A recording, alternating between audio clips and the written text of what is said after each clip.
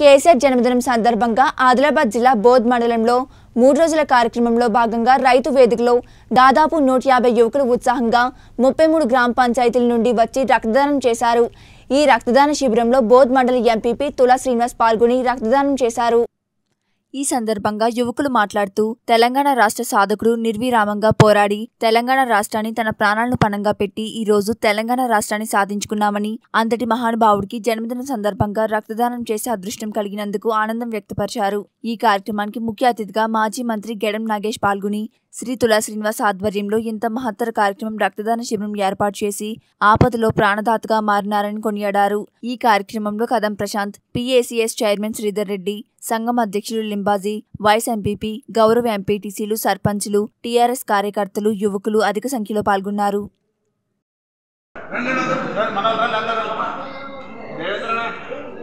Sir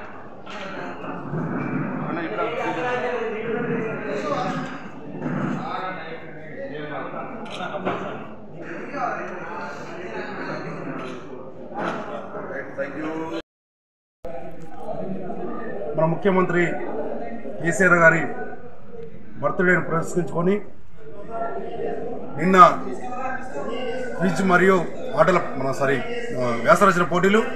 అదేవిధంగా ఈరోజు రక్తదాన శిబిరం. రేపు చెట్లు నాటే కార్యక్రమం పెద్ద మొత్తంలో బూత్ మండలంలో.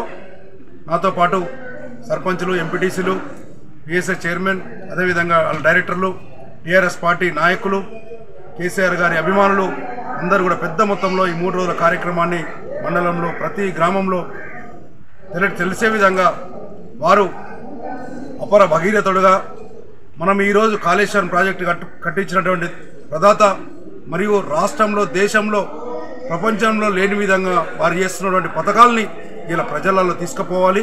మన ఆదిలాబాద్ జిల్లా మన జిల్లా అధ్యక్షులు జోగురామన్న గారి యొక్క ఆదేశానుసారం అదేవిధంగా మన మాజీ మంత్రివర్యులు నాగేశ్వర్ కూడా ఈరోజు రావడం ఈరోజు ఈరోజు ఈ కార్యక్రమంలో ఈ రక్తదాన శిబిరంలో వారు పాల్గొని మనకు వారికి సంఘీభావం తెలిపినందుకు వారికి మేము ప్రత్యేకంగా ధన్యవాదాలు తెలియజేస్తూ ఈరోజు పెద్ద మొత్తంలో యువకులు అదేవిధంగా మహిళలు రావడం ఇలా ఆశ్చర్యానికి గురి చేసినాం. ఎందుకంటే ముఖ్యమంత్రి గారి మీద ఉన్నటువంటి అభిమానం ఇలా టీఆర్ఎస్ పార్టీ చేస్తున్నటువంటి అభివృద్ధి పథకాలను అందరూ ఆకర్షితులై ఇలా యువకులందరూ పెద్ద మొత్తంలో వందల మంది యువకులు ఇప్పటికీ ఒక వంద యాభై దాట దాటడం జరిగింది.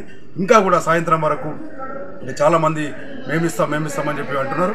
రేపు ముఖ్యమంత్రి గారి యొక్క దేశంలో ఇలా ప్రతి వారు చేస్తున్నటువంటి రైతాంగానికి కానీ వీళ్ళు అదేవిధంగా యువతకు కానీ ఇలా దళిత బంధుతోని దళితులకు కానీ పెద్ద మొత్తంలో వారు ఎన్నో పథకాలను ప్రవేశపెట్టిండు. రైతు బంధు కానీ రైతు బీమా కానీ కళ్యాణ లక్ష్మి కానీ షాదీ ముబారక్ కానీ ఇలా ఎన్నో పథకాలని ప్రవేశపెడుతున్న సందర్భంలో ఇలా ముఖ్యమంత్రి గారు వారు ఇంకా పుట్టినరోజులు ఎన్నో జరుపుకోవాలి.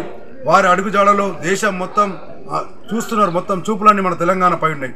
మన ముఖ్యమంత్రి కేసీఆర్ గారు వారు చేస్తున్నటువంటి అభివృద్ధి పథకాల్ని మా దేశానికి రండి మన ఢిల్లీలో ఈరోజు మీరు నెక్స్ట్ ముఖ్య ప్రధానమంత్రి కావాలి ప్రజల కష్ట సుఖాలు అన్నీ తీరుతాయి మీ తెలంగాణలో అయితే ఏ విధంగా అయితే మీరు ఈ పథకాలు పెట్టినో దేశంలో మీరు వచ్చినటువంటి పెడుతుంటే రైతాంగం ఇలా ఎంతోమంది ఇలా రైతులు ఎంతోమంది దేశంలో మనం చూసినాం చట్టాలు తీసుకొచ్చారు ఆ చట్టాలని కూడా ఇలా ఉపసర సంహరించుకునే విధంగా మన ముఖ్యమంత్రి గారు ధర్నాలు కానీ రాస్తారోకాలు కానీ చేసినటువంటి ఘనత మన ముఖ్యమంత్రి దక్కుతాయి కాబట్టి రేపు ప్రపంచ దేశాలు కానీ దేశంలో ఉన్నటువంటి రాష్ట్రాలు కానీ ఇలా ముఖ్యమంత్రిపై చూస్తున్నారు కాబట్టి వారు మళ్ళీ రేపు మనము రే- రానున్న కాలంలో వారు ప్రధానమంత్రి కావాలి మన దేశానికి మా మన రాష్ట్రానికి మంచి పేరు తీసుకురావాలి ఇంకా మన రాష్ట్రంలో పెట్టిన పథకాలన్నీ కూడా దేశంలో పెట్టాలని చెప్పి ప్రజలు ఎదురు చూస్తున్నారు కాబట్టి ఇలా ప్రజలు కూడా సంతోషంగా